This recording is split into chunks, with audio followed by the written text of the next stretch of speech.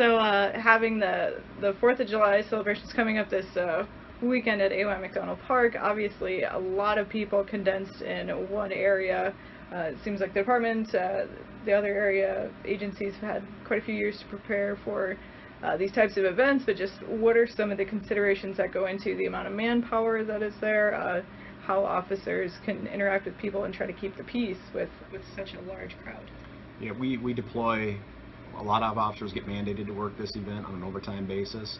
Um, as we discussed, a few actually sign up and volunteer knowing that they're probably going to get mandated anyway, have a little bit better options in terms of what their role might be down there. But we do have 20 plus officers, plus our uh, police auxiliary, which are all volunteers that help us out immensely down there at that event.